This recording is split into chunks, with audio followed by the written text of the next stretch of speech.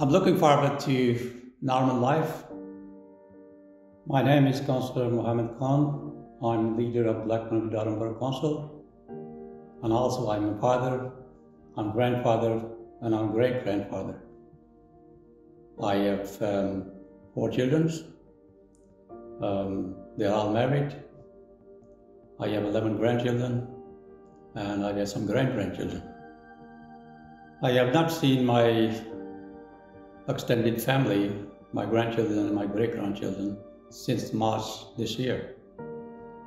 Um, they used to come to me, I used to go to them, we hug each other, we spend time together. But unfortunately, unfortunately, due to circumstances, we have to make sure we are following the restriction.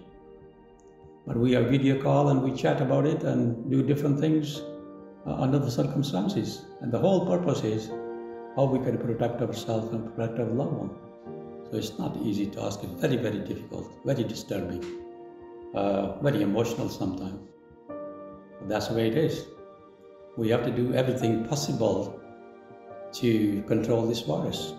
I'm looking forward to normal life, coming back to businesses and everything else start moving in the right direction.